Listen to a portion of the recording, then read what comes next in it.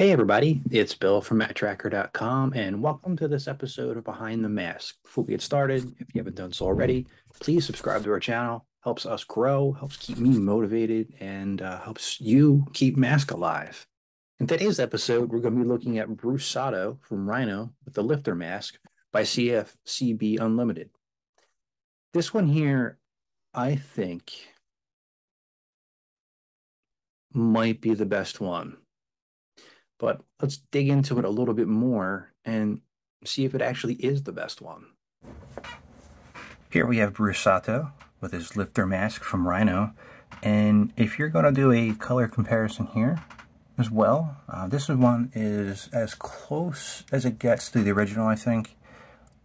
Uh, just as much as Matt did. And I, I think this one so far, out of the ones that I reviewed, is the best one that has been made. Uh, there's a lot going on here. The sculpt on this one just stands out a lot more to me. And what I want to do here is, I don't know if you can see the differences in the mask there. I'm sure you can. That's, you know, that's perfect. Those masks are dead on. And of course, like with Vanessa, it's going to be a little bit bigger just because of the fact these are made a lot tighter. And when, oh, hope it didn't break. It did not. Oh God. Okay, I dropped it. Didn't break. Good, good. Uh, yeah. So these are made to be tighter, and you'll hear the snap. It's like biting into a freaking pickle. You know, kind of snap, and it's meant to stay on there, so you can play with them.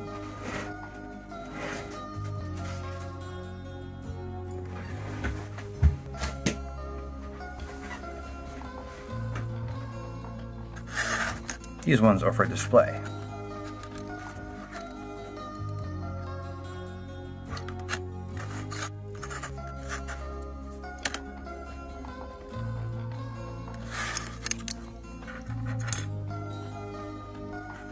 So let's take a look at them here. And again, I, I, I really do think this is the best sculpt that has been done so far.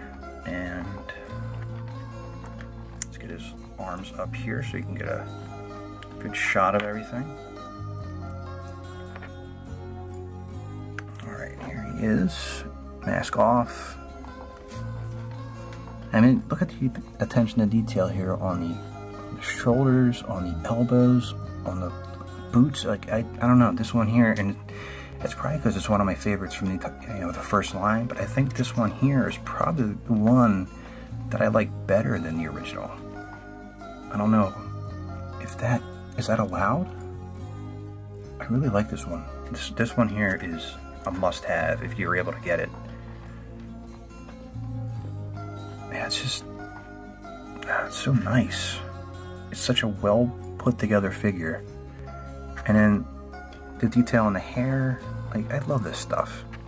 That's the stuff that like gets me. It's like the the craftsmanship. When you get something that isn't half, you know, casually put together and just really well designed. Bruce Sato, lifter mask. I'm giving this one a nine and a half. Let me know your score in the comments. Now, I know Bruce is like, I don't know, if you had to go top five mask characters, Bruce would probably be up there, right? Put that in the comments too, uh, if you feel like it.